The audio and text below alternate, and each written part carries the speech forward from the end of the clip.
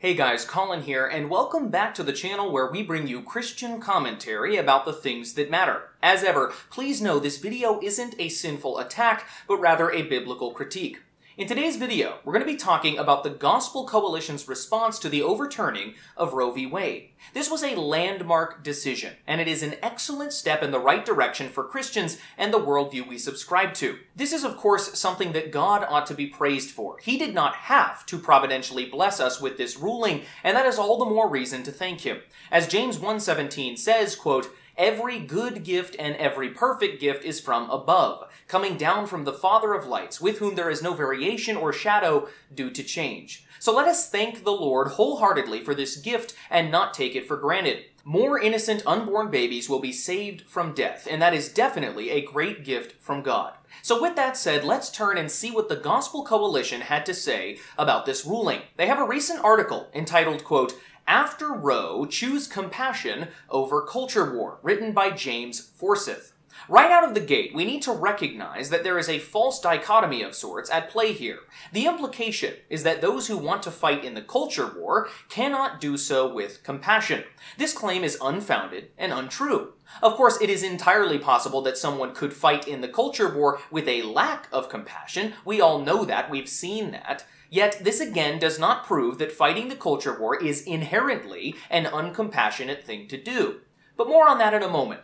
In the article, James says this, quote, But as we welcome this ruling, we must be measured in our response. Now is not the time for the church to beat its chest in celebration of a victory in the culture war, end quote. Now, just to be clear, there is no real definitive example of what this unbiblical celebration of the decision would even look like. Therefore, the reader is left to their own imagination on this issue. In fact, many people who read this article will be left with the distinct impression that any passionate celebration of any kind about this decision would be unchristlike. Indeed, any use of the word celebration in the article itself gives the word a negative connotation. That's very clear. There is, however, another article linked by the author which encourages celebration of the Dobbs decision. That must be noted. The author's position on celebrating this ruling is at best confusing and contradictory, and at worst, just plain bad advice. The closest the author ever specifically comes to celebrating the overturning of Roe is when he says this, quote,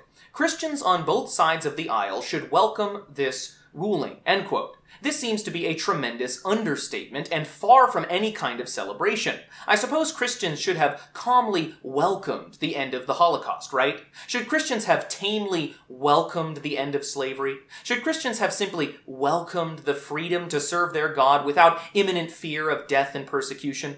Somehow, I don't think the response to those issues would be exactly the same as the response to this one. At least, that is certainly the case in most big EVA churches and in publications like the Gospel Coalition coalition. But why is there a different response? Thousands of innocent unborn baby lives will be saved by this ruling. If that is not something we can wholeheartedly celebrate in public passionately as a church, I'm not sure what is. This kind of response, then, illustrates how much Big Eva types have submitted to the secular culture. Romans 12.2 says this, quote, Do not be conformed to this world, but be transformed by the renewal of your mind, that by testing you may discern what is the will of God, what is good and acceptable and perfect, end quote. What Christians should and should not celebrate, and to what degree they ought to celebrate it, is not dictated to them by the emotional response of the secular world. It is given to us by God's Word. The culture wants to literally kill babies. That's their standard. They want to murder actual children. And when we partially remove their right to kill babies and celebrate the removal of such a wicked so-called right, we are often chastised by mainstream evangelical leaders and given vague commands to be more compassionate and stay out of the culture war. That's not for you, Christian. This is absurd. Here's an example of why. We will publicly celebrate the birth of a child. Indeed, this birth is so joyous that we commemorate its anniversary every year. It's called a birthday party.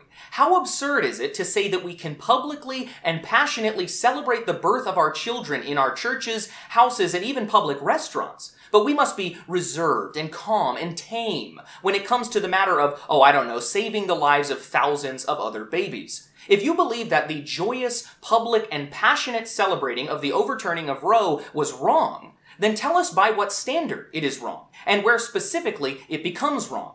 This article fails to do anything of the sort. Instead, it merely gives us vague and ambiguous references to Jesus' love and compassion. The problem with this is that you may be encouraging people to stop celebrating something that they really ought to be celebrating. And let's also talk about the tone of these celebrations, which draws a lot of criticism. Jesus himself says in Matthew 18, 6, quote, But whoever causes one of these little ones who believe in me to sin, it would be better for him to have a great millstone fastened around his neck and to be drowned in the depth of the sea. End quote. If Jesus said something this harsh about those who cause the little ones to sin, what do you think he would have said about those who lobby for the right to kill these little ones before they're even born? It's strange to me that anyone could read this passage and then chastise conservative Christians for posting a mild Instagram story celebrating the Supreme Court's ruling. Most of the arguments against the tone of those conservative Christians celebrating the decision are entirely subjective and really unhelpful. So we ought to celebrate Roe's overturning because we love children. Of course we should, and we should celebrate their right to life. Unless your rejoicing leads you to sin against someone, you may do it all you want, and I would encourage you to do it. We should not allow our celebration of children being alive to be superseded and dampened down by the sadness and disappointment felt by those who want the children dead. That would be utterly backwards. But this seems to be what the TGC article is advocating for. And the article continues, saying, quote, As access to baby killing, my words, not his, becomes more limited, an untold number of women, sometimes supported by partners, but typically alone, will find themselves in crisis, in shock, fear, and despair. They are now without the only option that seemed to offer hope. The celebratory fanfare of a political culture warrior may make judgmental Christians feel better about themselves, but it does little to help these women, end quote. And pay attention because this is the crux of the argument here. You shouldn't celebrate the overturning of an evil and murderous law because many women wish that law still existed. And that law not existing doesn't allow them to murder their children, which makes them pretty upset. Again, which part of that argument is biblical? Let's use another analogy, shall we? Suppose someone wanted to steal the purse of an old lady, which, by the way, is a significantly less severe crime than killing an unborn child.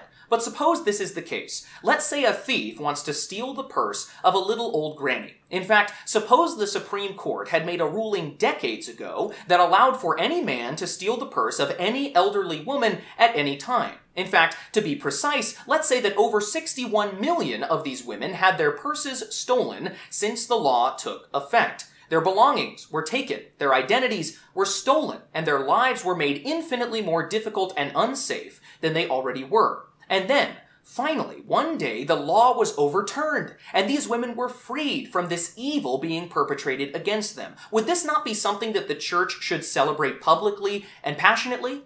Of course we should, and the people at the Gospel Coalition would celebrate it. I'm sure. But there's one group of people you're forgetting about. What about the thieves? They really counted on the money that they stole from these old ladies. They used it to pay their expenses. Now, without the ability to steal women's purses, surely they're going to be very upset and disadvantaged. And after all, you've just taken away their right to steal. A right that they've had for years. That's very hard for them, isn't it? Many of them have had hard lives which led them to even want to steal in the first place. And you have the audacity to celebrate this ruling like it's some sort of victory? You're doing a victory lap? You're hitting your chest in celebration? That may please your judgmental conscience, but it doesn't do anything to help these thieves who wanted to steal. This may feel like a victory for you, but for them, it's a nightmare. They've lost their income, and they don't know what to do now. So surely you see the analogy here. It's absurd for us as Christians to let our sympathy for these thieves increase to the point that we stop celebrating that these women they wanted to steal from are protected under the law. We should want that. And again, let's remember that stealing someone's purse is significantly less severe, ethically speaking, compared to killing your own baby. You see, we can sympathize with women who want to kill their baby, but we will not sympathize with them because they're sad that they can't kill their baby. That's the issue here. We will not sympathize with any laments that come as a direct result of them losing their right to kill their baby. Perhaps they have been abused. That would be horrible. Perhaps they've been trafficked. That's horrible too. Perhaps they're just a slave to their own sin. And we ought to sympathize with them there as well, knowing full well that Christ came to free us from our own slavery to sin. As Galatians 5.1 says, quote, For freedom Christ has set us free. Stand firm, therefore, and do not submit again to a yoke of slavery. End quote. You see, there are many ways that we can and should sympathize with these women as fellow fallen sinners. We're no better than they are. There are many ways, both spiritually and physically, that we should try to help them. I agree with that. But what if these women are sad, upset, disappointed because they really wanted to murder their children and now they can't? What if they're sad that they've lost the quote, only option they had left? That option being, of course, murder. Should we sympathize with them on that too? Absolutely not. In John 10:10, 10, 10, Jesus says this, quote, "The thief comes only to steal, kill, and destroy. I came that they may have life and have it abundantly." End quote. This illustrates the absurdity of sympathizing with a woman's desire to execute her baby in the womb, or the sadness she feels because she can't do that. It's a satanic idea. When a Christian brings sympathy to the table with regard to this feeling or this particular point, they're effectively saying this. I'm so sorry about the fact that you and Satan can't break God's law and sacrifice children. I'm so sorry that you're sad as a result of you being told you can't murder a kid. This kind of response, though it may appear loving at first, is nothing short of demonic. If we're on Jesus' team, then we must celebrate abundant life, the kind of life he came to give, and especially life with him. Yet, by the very same standard, we must also rebuke the unjust taking of life and never sympathize with, in any way, the desire to steal, kill, and destroy. In short, the Gospel Coalition is way off on this issue, as you might have expected. Not in every respect, but in many ways. And it only illustrates even further why they are not a reliable source when it comes to politically charged social controversies. The culture war, my friends, is all around you. You can either fight the war biblically with truth and love, or you can be utterly ineffective. The choice is yours. So I hope you enjoyed the video, and please know this, I do not offer any of this correction from a high and mighty position. I am nothing but a wretched sinner saved by the grace of Jesus Christ. So let's pray for the Gospel Coalition, that they would move in a much more biblical direction instead of where they're going, and by God's grace, that they would turn to the truth of God's Word.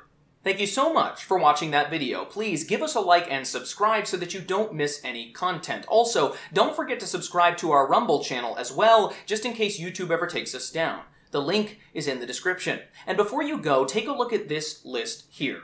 These are the people who make all of the free content you see on this channel possible with their monthly support. Today's highlighted channel supporter is Greg H. If you also want to help and become part of the solution today, hit the link in the description. Your support keeps us independent and helps us immensely here on the channel. So I hope you'll consider joining the Truth Army today, and until next time, fight for truth, never surrender, and keep your eyes open. Thank you, and God bless.